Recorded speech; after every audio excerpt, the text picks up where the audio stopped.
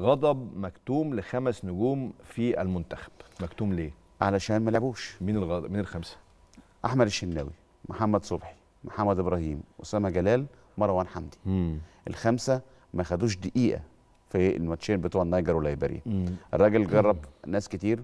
حتى مثلا يعني جرب أيمن أشرف في مركز ثمانية. فالناس كانت منتظرة مثلا إن هو يجرب محمد إبراهيم مثلا. مركز ثمانية. آه. هو مش ده مش مركز أيمن أشرف. صح.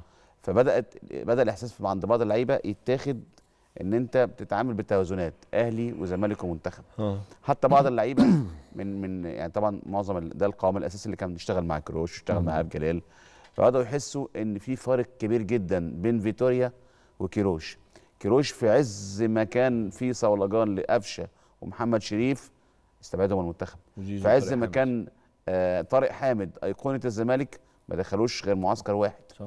وصمم على موقفه وما لعبوش بطولة عربية وما لعبوش كاس أفريقيا.